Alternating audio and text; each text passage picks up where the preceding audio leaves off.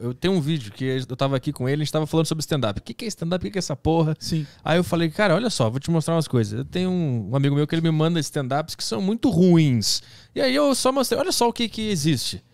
Mas não como uma crítica, como uma coisa pra tentar entender o que, que tá rolando e tal. Aí um cara mandou uma mensagem, muito boa sua crítica sobre stand-up, concordo. Eu falei, cara, eu não tô fazendo uma crítica. Eu só tô achando curioso, eu tô tentando entender o que, que é essa porra. Eu acho ruim sim, mas não tô fazendo uma crítica.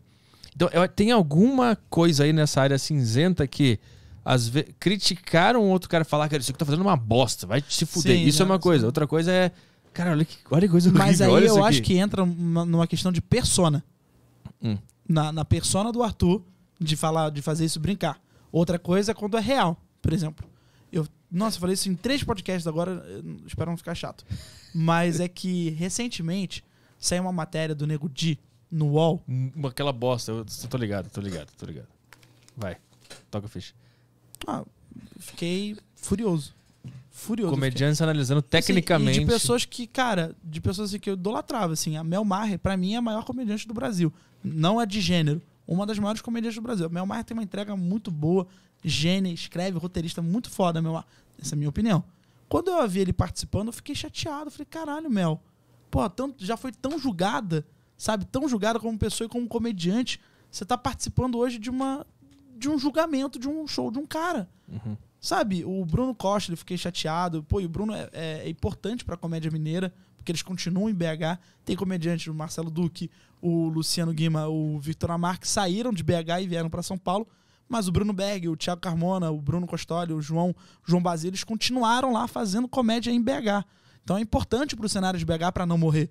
Sabe? Pra, se não, todo mundo sair e vir pra São Paulo, não tem mais comediante. O Steven Gaipo também é muito importante. E aí eu vi o Costoli lá fazendo participando, eu fiquei chateado. O Cortez, não vou nem falar. O Cortez, o quanto ele foi julgado, o quanto ele já foi massacrado, ele sabe disso. Participar disso pra mim é um.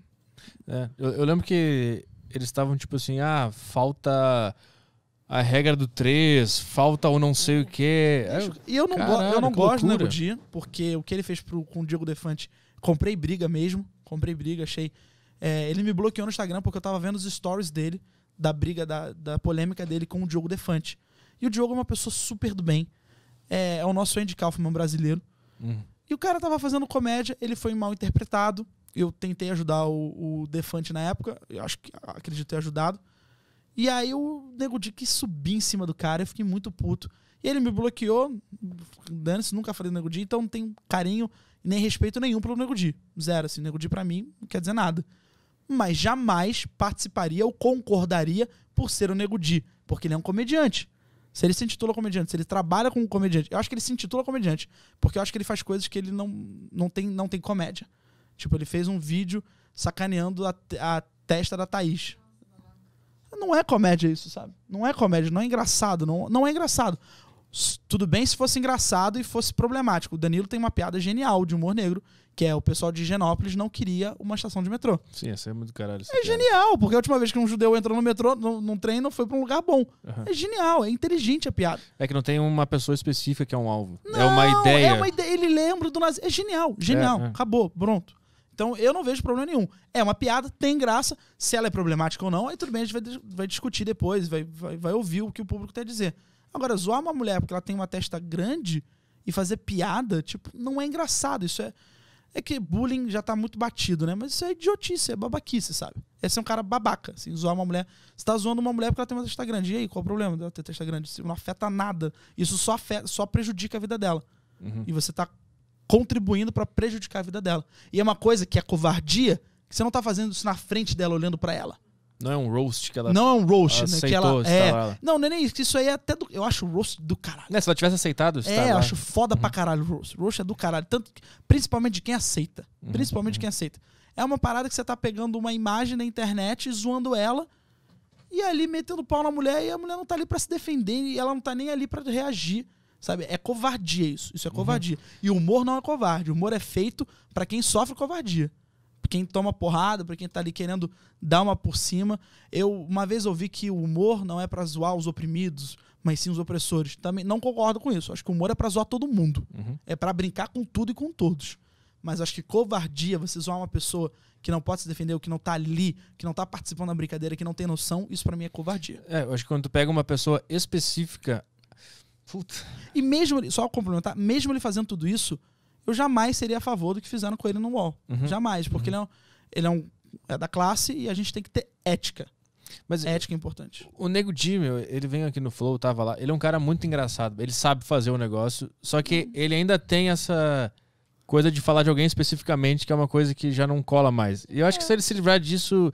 Meu, ele contou a história aqui no Flow do como é que foi os exames que ele teve que fazer antes de entrar no Big Brother. Ele falou do, do cara do doutor Euclides, que tocou no pau dele sem a luva. Ele já começa. O que, que, que é isso, doutor Euclides? Ele começa a contar, a gente tava chorando de rir lá.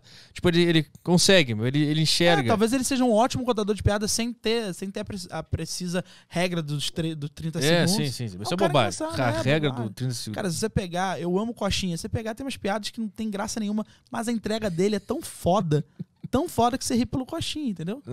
É foda, a entrega do Nego Di faz. Se dá certo, mano, vai, cara, continua.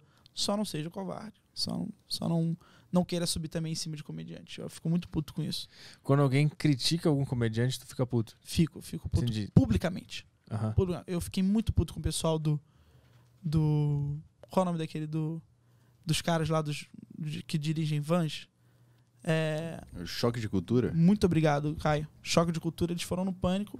Começaram a falar mal do pânico. No pânico, assim, começaram a criticar.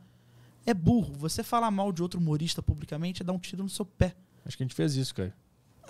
É, a gente Não, fez. se você faz isso. A gente deu um belo, eu, belo não, vários o que eu tiros no vejo, pé. não, o que eu vejo do Arthur, de vocês, é uma persona. É uma persona. Eu tenho.